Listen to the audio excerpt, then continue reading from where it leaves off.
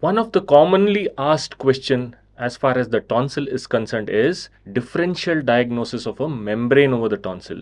So dear students, remember the mnemonic dial MTV. So what does dial MTV stand for? D stands for diphtheria. It produces a white membrane which on removal produces bleeding. I stands for infectious mononucleosis. A stands for agranulocytosis. L stands for leukoplakia M stands for a bacterial membranous tonsillitis.